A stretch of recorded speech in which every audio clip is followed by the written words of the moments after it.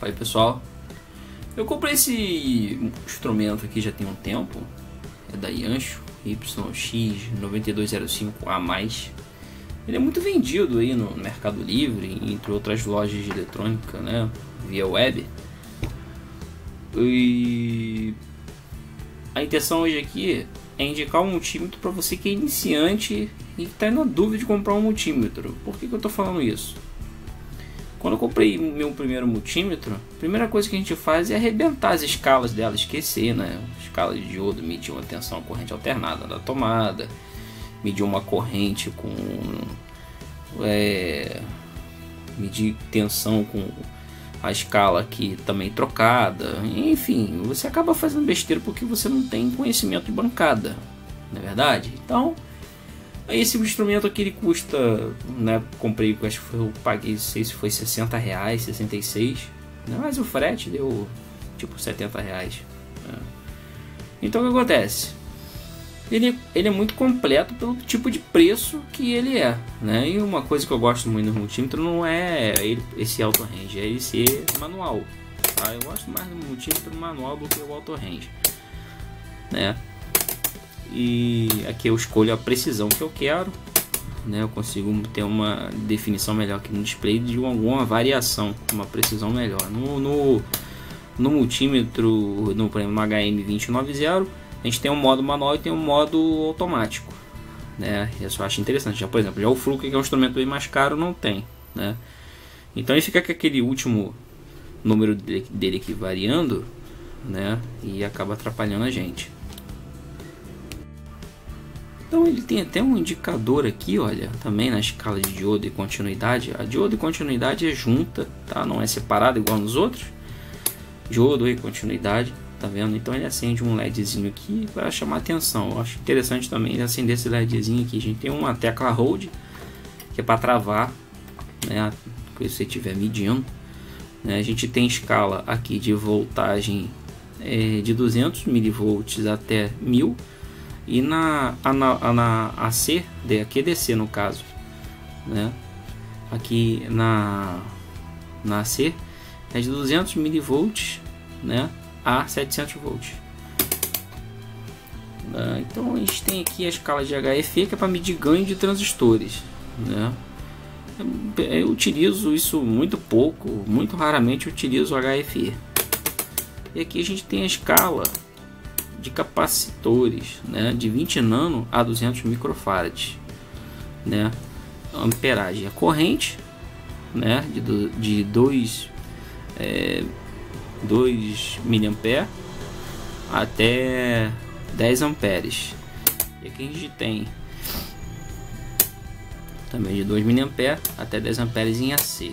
Tá ok? Mas aqui tem um tempo aqui para você ficar com a ponteira conectada. Essa ponteira aqui, ela não aguenta 10 amperes de corrente. Né? Então, o tempo que você tem que ficar com ela para poder medir a corrente é um tempo muito curto, muito pequenininho. Né? Então, aqui a gente ele bota aqui no máximo 10 amperes, ó, no máximo 10 segundos. Tá vendo? Aí vem dizendo aqui, 200 mAh. Aqui tem, no caso, miliampere, tá vendo? Se botar a quantia no miliampere, se for 10 amperes é para cá, no máximo 10 segundos. Né? 200, aqui no caso daqui, daqui no caso de, de 10, no caso de 2 até 200 miliamperes nessa, nessa, nesse, nesse furinho aqui. E daqui para cá, né, é até 10 amperes.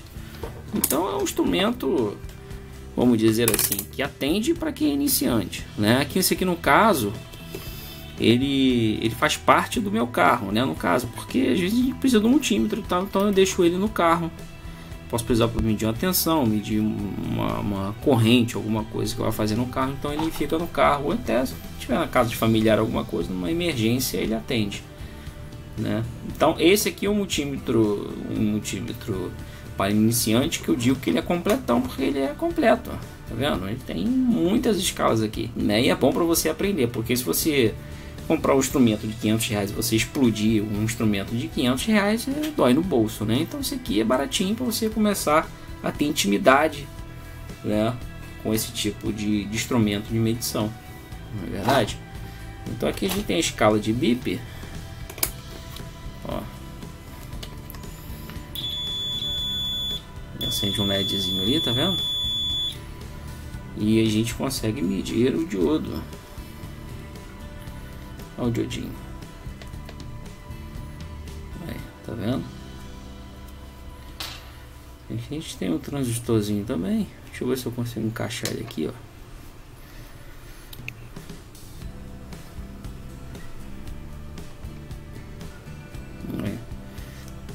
4.94 né e aqui vai dar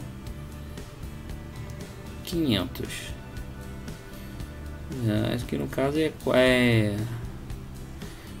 4.9 volts 4.94 volts 5 volts então se deu mais aqui ó aqui em 5 volts né aqui é o emissor do transistor aqui é coletor coletor, o emissor sempre dá mais, ó. Tá vendo? Agora, ele é um instrumento que ele tem que você tem que tomar cuidado porque ele é leve, né? Ele cai à toa, né? Porque ele é leve, é levinho, é vagabundo e ele é leve, né? Vagabundo que eu digo no sentido de plástico, né? Ele não tem peso o instrumento, ele não tem uma capa de proteção igual os outros e a, a caixa dele, o plástico, ele é muito fininho, né? Então a gente tem um diodinho aqui também. Ó. Médio legal, fuga, etc. É. Partindo para a parte de capacitores, que eu tenho um capacitor de 10 micros na minha mão, vou na escala de 20 microfarads. A escala de capacitor é a escala mais perigosa que tem, mais sensível. Né? Se você errar, né? você sabe que você vai perder a escala do instrumento. Então aqui a gente tem voltagem em ohm, né? E aqui a gente tem 6x, ó, tá vendo? Que é capacitor X. Então a gente vai passar a ponteira para cá, ó. A ponteira comum ela sempre fica fixa, ela não muda. Então a gente tem aqui o capacitorzinho, capacitor 10 micro, você acha qualquer sucata aí. 10 microfarads, ó. Ele é rápido para medir não é lento, né? Tem até o, aquele Ricari HM290, ele é mais lento para ler, mas ele lê direitinho. As pontos 69. Né? Então, a parte de capacímetro dele funciona direitinho também. Quebra um galho, né? Até para você medir um capacitor de ar condicionado, um capacitor de ventilador, ele quebra um galho. Eu tenho um aqui, ó, de 100 microfarads. Vamos medir aqui para ver. Isso aqui é tudo estoque da Proésio. Sim, Profile, é 98.9 e mede direitinho, cara. Não deixa a desejar em nada, entendeu? O instrumento, lógico, se você puder comprar um Ricari é muito melhor, mas para iniciante ele é maravilhoso, tá? Porque eu sei que você vai explodir o instrumento. Essa é a questão. Para escala de resistência, né? Fazer uma de 200, uma de 200k 200 mega, a gente jamais vai usar, até 20 mega. A gente até usa, eu uso às vezes 20 mega é para fazer medir resistores de PFC e tal, coisa mais bem avançada. Fazer reparo de placa e tem resistores de valores muito altos, então é de linha de referência. Então a gente utiliza. Então vamos partir aqui. Fazer uns 200, vou tentar ver aqui como é que fica o esquema aqui. Peguei uns resistores aqui, vou pegar um de 33R, um valor bem comum.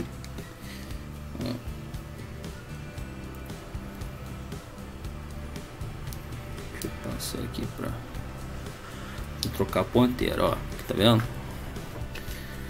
A gente tava capacitor, tem que trocar a ponteira.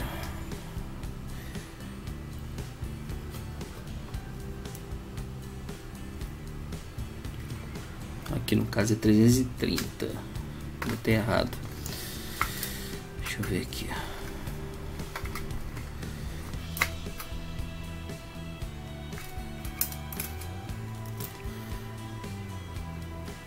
Isso aqui eu nem sei que resistor é esse.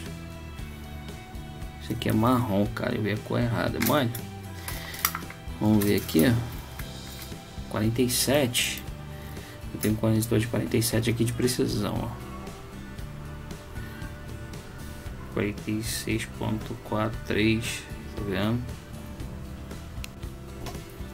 E a 33 mesmo, pessoal, ó. Eu não tava dando contato direito aqui. Essa ponteira é vagabundinha, aconselho vocês trocarem também a ponteira. Ou então de soldar ela, soldar de novo, dar mau contato. Entendeu? Mole não. Aqui a gente tem a escala de 2K 470. Isso aqui, ó. 453, a gente tem uma tolerância de 10%. Deu a tolerância ainda. Então funciona direitinho. Vou passar para voltagem. É, deixa eu ligar a fonte aqui.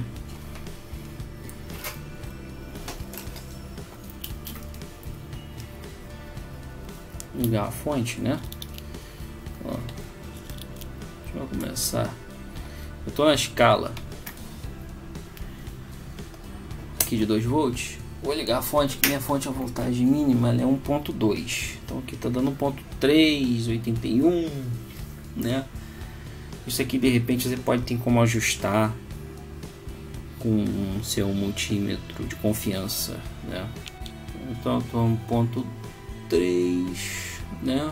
77, ele está marcando 1.2. Vamos botar a fonte para 12.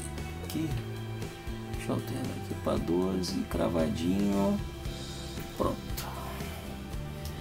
Aí ele saiu da, da tensão, né? A escala, porque a escala está menor do que a tensão que está entrando no instrumento. Então ele fica assim, com esse 1 marcado aí, ó. Tá vendo? Então tá dando um ponto, 11.92 ali no instrumento tá dando 12. Esse medidorzinho eu calibrei ele com Fluke, né? E esse cara aqui ele depois pode calibrar ele da mesma forma com outro instrumento. Né? Mas está batendo quase a mesma coisa, 1.93 e tal. Vou botar para 14 volts. 14 volts. Beleza, 14. 13.9, né? Tá melhorando. Tá vendo? Ele funciona bem. Ah, vou desligar aqui. Vou medir a corrente. Corrente não sei como é que eu vou fazer, peraí.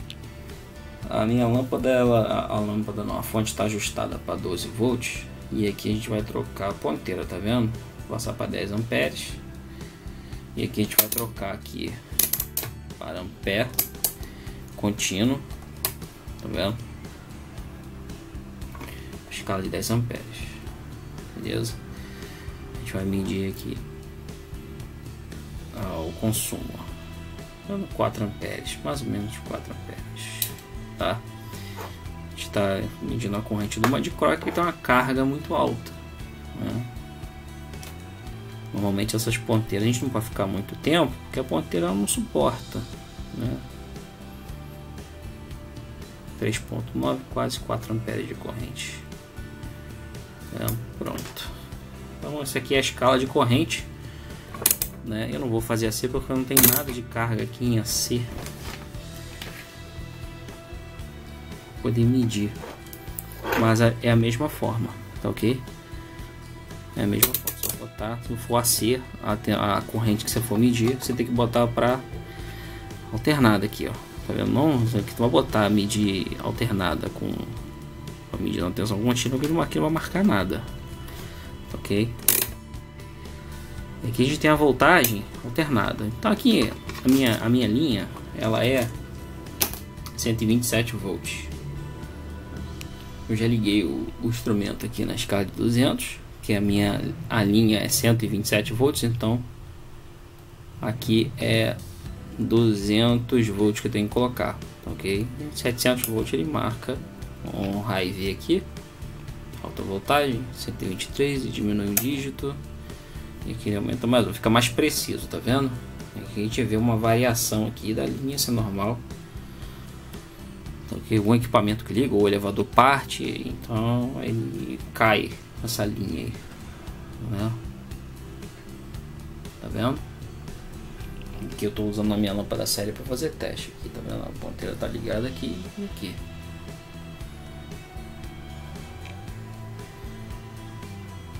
Sempre não pode esquecer de mudar, né? Vamos tentar medir a corrente aqui alternada. Aqui no caso, tá vendo a ponteira como é que tá? Tá, tá fora aqui daqui. Eu tô na escala aqui na, na entrada de 10 amperes, tá vendo? E tá para alternado porque eu tô trabalhando com tensão alternada, tá ok? Então, aqui é normalmente a tensão aqui que a gente essa escala trabalha, normalmente é, ela é igual a daqui. Tá vendo até 700 volts, 200 volts, tá ok? Depois dá uma olhadinha no manual. Eu não tenho mais manual na arrumação aqui. Acho que minha esposa jogou fora a caixa. Eu falei para ela que podia jogar fora. Né? Então aqui a gente tem a escala de voltagem uh, alternada. Tá bem próximo, tá vendo? Né? Tá bem próximo aqui para você não se confundir. Então aqui a gente tem a escala de ampere alternada. Então aqui a gente vai botar a ponteira aqui. A lâmpada ela tem que acender. E aqui a gente está marcando 0.96 na escala de 10 amperes, mas dá quase 1 ampere. Dá 950 miliamperes. Né? 950 miliamperes. Tá vendo? Então tá funcionando direitinho. Tira da tomada, não precisa, já mediu, acabou. Nunca esqueça de trocar a escala daqui para cá, sempre com a ponteira fora da tomada né? porque senão você destrói o instrumento. Beleza? Vamos para a parte de dentro. Vamos abrir o instrumento. Aqui a gente tem um compartimento de baterias. Aqui, compartimento de bateria. Tá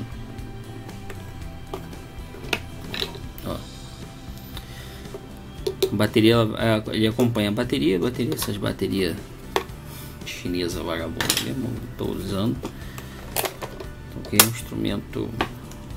instrumentozinho, a caixa dele eu acho vagabunda, mas si, enfim, ele atende legal. Né?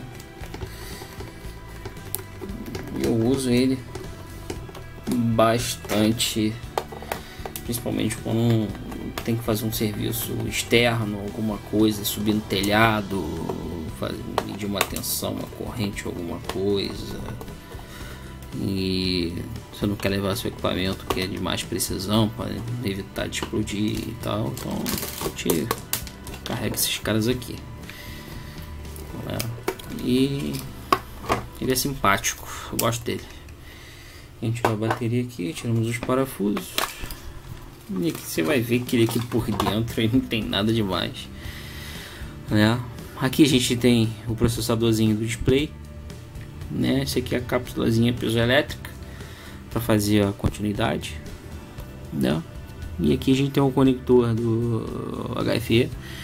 Ele é montado no, de uma forma muito simples, não, não tem muito mistério né? Um fenolite, um fenolite não, uma, uma placa feita em uma placa dele feita em fibra, mas é uma fibra muito fina, né? Diminui o custo, né, do equipamento. É isso. Aqui a gente tem os operacionais, né? Achei que é um NM, um NMzinho 358 que mais que tem aqui? LM358 74 74 HC 14D aqui né? esses trimpotes que a gente tem aqui eu vou fazer ajuste de tensão né e tal depois você pode aferir o seu próprio instrumento comparando com o outro aqui que dar um toquezinho em um, ele até que ele é de, ele é de louça, né, para evitar problemas de louça, vamos dar umidade. Não, esses tripotes que eles botam de louça, porque o circuito é de precisão, evita Então é isso. É o que tem aqui dentro dele. Aqui a gente tem um display, né? Aqui normalmente tem um modelo dele que tem uma ele tem um acrílico aqui que faz a, a retroiluminação do display, né? Esse aqui não tem. Aqui a gente tem essa barrinha condutiva que é para passar as informações daqui do drive. Esse aqui é processador e drive do display, né? Para cá pro displayzinho aqui. A gente tem um LEDzinho aqui para baixo, tal. Eu não vou desmontar ele todo hoje porque vai dar trabalho, né? Vou montar se você quiser começar a dar mau contato, você tira esse parafusinho aqui, limpa a roleta aqui, cuidado com as lâminas que tem aqui, se você tirar da posição, é, vou botar no lugar de novo, é terrível, tá ok? É, aqui tem até espaço para você para baixo você montar um outro circuito aqui para fazer teste de LED de barra de televisão né, já dentro do instrumento que tem bastante espaço. Beleza? É isso pessoal, espero que você tenha gostado do vídeo, um instrumentozinho barato, portátil e bem aceitável para se trabalhar, ok? Um abraço a todos, deem aquele like no vídeo, fiquem com Deus, um abração.